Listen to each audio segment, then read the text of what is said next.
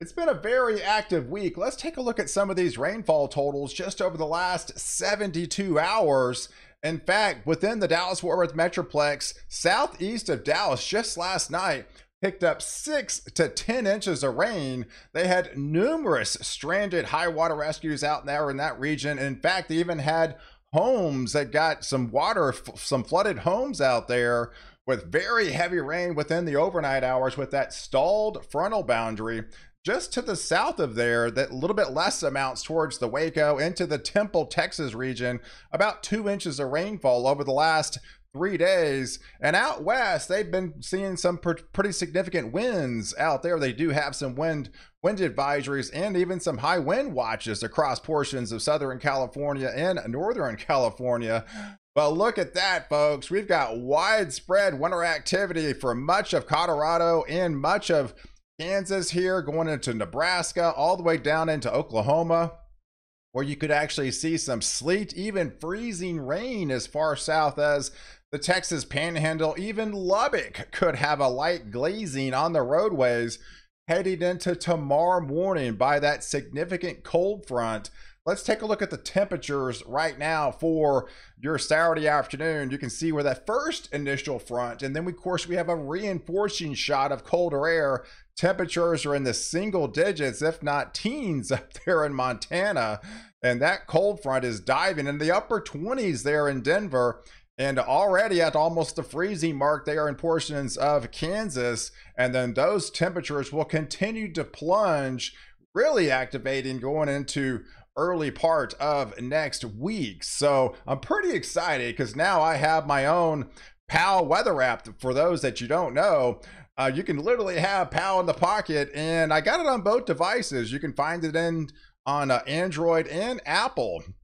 So you can just go to the App Store and download it for yourself. Or I created this convenient link you can click on in the description below and you can download it there. And if you hadn't subscribed to my channel, I do actually do daily updates on this channel. So please do so if you haven't already. So let's take a look at take you back because yeah, we got some cold air coming, but overall, if you take the averages just between now and the first 27 days of October, it's actually been overall a pretty warm October for October standards. Much of the country, in fact, 85%, there's only areas across the southeast has experienced below average temperatures. So, yeah, this is going to be a significant change of what you've seen really all month long to take you all the way through into your Halloween. So, later on this afternoon, this is about four o'clock. So, we had that rain overnight in Texas going through Dallas this morning. I think it starts to come out of that region, pushing into East Texas,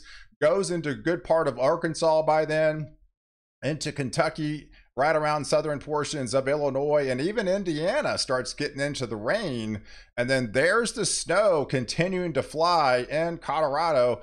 Yeah, Denver could pick up a pretty significant snowstorm with this system.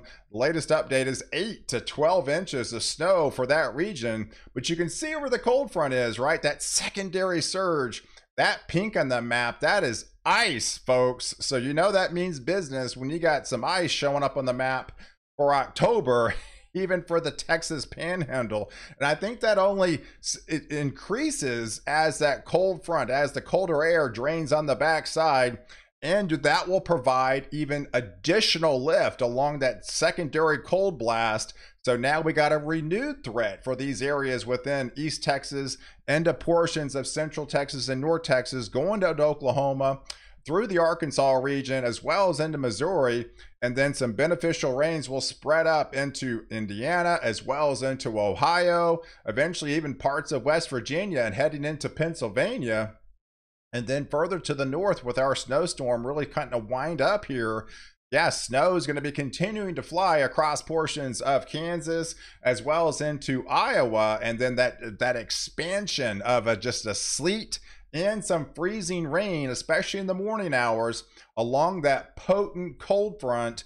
And going into Sunday morning, that that ice continues to drop a little bit further south. That's why they do have some winter weather advisories in the good part of the Texas Panhandle and even into portions of West Texas. So if you're on the roadways, especially for your truck drivers out there, high alert because obviously this is late October. You're not used to seeing winter weather on the road. So definitely take it easy, especially for these areas that even have like a glaze of ice. That's always the most dangerous because you're not expecting it. You're just going at your, normal speed, and that's where things could get turned awry pretty quickly uh, if you're not expecting ice you know, on the roadway. So please take it, use extreme precaution if you're going to be out in the roadways, especially, you know, in the morning hours. But yeah, here's the latest update from the National Weather Center in Colorado. Wow, look at that pretty significant snow, even for them.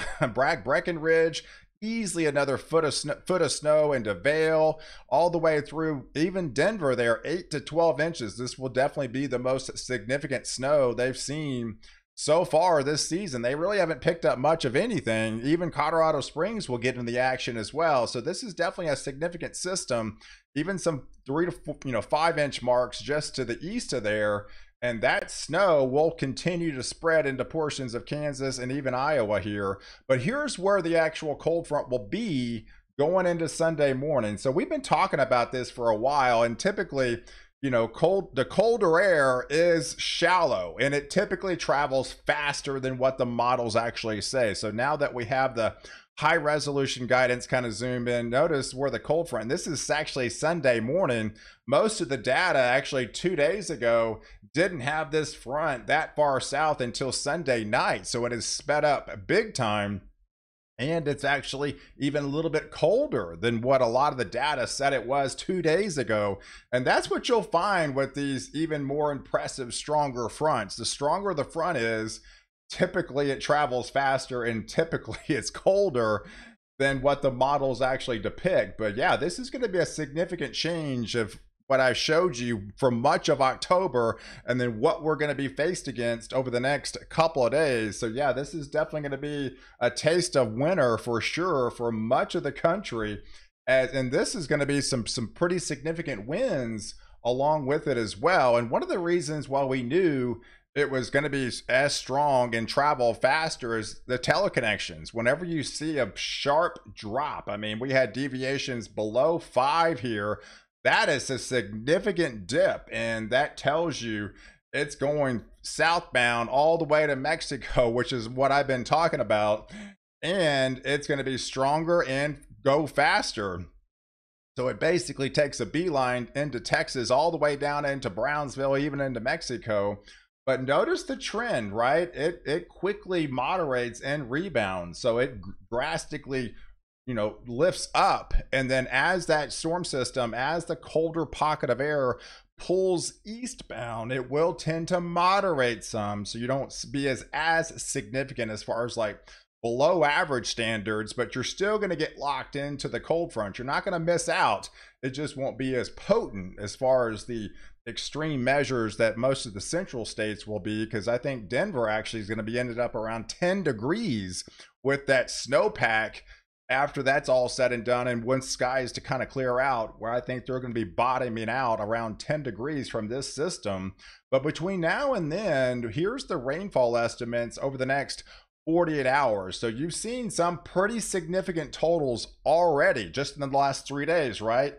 So now this is additional rainfall right? So yeah, so a lot of these areas have actually experienced a very dry summer, waiting for that El Nino to kick in. And now it's like feast or famine across these regions. Now you can't get the rain to stop, and it's still coming with a vengeance with another one, two, possibly three inches of rainfall well, with along that secondary front across these areas into uh, central Texas heading up to eastern Oklahoma, getting into Arkansas through western Tennessee. These these areas will get hit hard with another two to four inch swath of heavier rains, and those rains will extend in through Indiana and Illinois as well as Ohio, and even start sneaking up into the mid-Atlantic region, getting up into Pennsylvania to the DC region, and heading up into New Jersey, getting up into Vermont, New Hampshire, and then by the time we head into the northern portions of New England yeah most of that actually will be in the form of snow again. So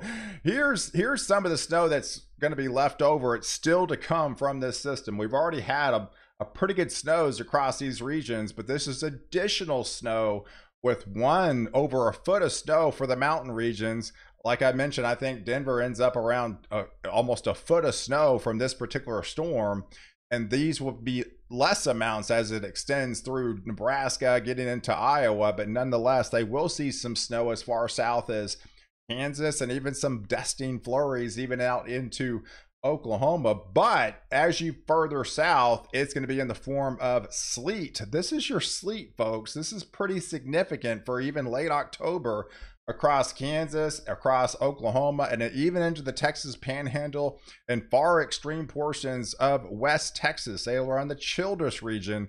Yeah, they could be picking up some some de- definitely some sleet in that neck of the woods and where it's not sleeting and where it's not snowing they are going to have to deal with some a glaze of ice on the roadways which could even be more dangerous across these regions than the western panhandle of oklahoma and and the texas panhandle and far extreme portions of say the lubbock regions. This is why they have these winter weather advisories in place because of what could still to come with you know rain falling or falling and freezing on contact across these regions. And then going into monday so as the cold front will continue to dive southbound when you wake up on monday morning there's that significant drop in colorado. Some mountain regions could be below zero folks. You know that's a significant air mass with that snowpack adding likely another 10 degrees lower with the snowpack on the ground in those areas but yeah, it's going to be every bit a winter for those areas. And all that blue, that is your freezing mark. And that will only extend a little bit further south as we get into Tuesday and Wednesday timeframe. But going into that Monday afternoon after that second front, this is where the rain could be going into Monday morning, extending into Monday afternoon. It's starting to wind down in North Texas. Now it shifts into Central and South Texas. And then that feeder band of rain will be extending right along this cold front through the Tennessee Valley and through portions of the Northeast. And then going into that Tuesday. So this is your Halloween, folks. And so it's pretty pretty uh significant wet snow all the way through to Halloween, but then it dries out, which is actually a good thing because a lot of you obviously have plans on Halloween and outdoor plans and for, for the trick or treaters. So it's going to be cold for sure as you wake up on Halloween morning. Likely some of the coldest temperatures in many years for Halloween is going to be on tap as those that colder air and at least likely 60 to probably 65% of the country will actually be at the freezing mark. This is definitely pretty significant especially of what you've seen, you know, as of late. But going into that Wednesday, say Thursday timeframe, next week we tend to warm up. So we're going to be looking at some pretty clear skies behind that system starting out on on uh, Halloween. But then even it gets drier on on Wednesday, and then probably that's going to be your coldest day as far as widespread freeze for a lot of your areas getting a first freeze as the skies tend to clear out. You tend to lower those temperatures even further but then all eyes will be trending back up to the pacific northwest. So not much rain to speak of until then but by the time we get into the middle of next week these temperatures are going to be rapidly warming out west, but it's also going to bring another significant storm system coming in from the Pacific Northwest. And these areas will start get hit with some heavier rainfall by then. But those are the temperatures going to that Wednesday, right? So these are your actual temperatures. I think this is when we sort of like quote unquote bottom out with the coldest, most widespread of the freezing mark as that could you know for these areas especially further south you'll probably see the first frost first freeze warnings issued over the next day or two planning for this significant you know cold blast for this early. So definitely if you have some sensitive plants out there you need to take extra precaution for that and cover them up or bring them inside because many areas will uh, likely see you know their first frost and freeze of the season. And here's the Canadian. I mean, the Canadian's typically a colder bias model, and I'm showing you the extremes here because I don't think it gets this cold. It's not making it to 29 degrees in Austin. That's just not happening, folks. But I was just going to show you some of these extremes that the, the, the models are spitting out with this uh, cold front. but uh, but yes, going into next week, here's the significant changes because we're going to have a we're going to have a building ridge out west, and that's going to slowly shift. So it's going to moderate, the colder air will moderate as it shifts eastbound, and then the ridge will be building across the west. And by the time we head into next Sunday, most everybody will be likely above average temperatures by then, as it's going to be a drastic change from what you've experienced you know this Sunday then going into next Sunday as we we rapidly warm up on the backside. And as we rapidly warm up on the backside we start to dry out on the backside. So it's going to be a much calmer week ahead heading in the next week and a drier week. And then all eyes will be out into the Pacific Northwest by midweek as we'll have training rains for you guys up there into Seattle and Washington and northern portions of California by then. So, guys, I appreciate you guys uh, watching. I do like this video. Definitely watch my uh, winter forecast after this update and catch me next update where I protect you before and after the storm.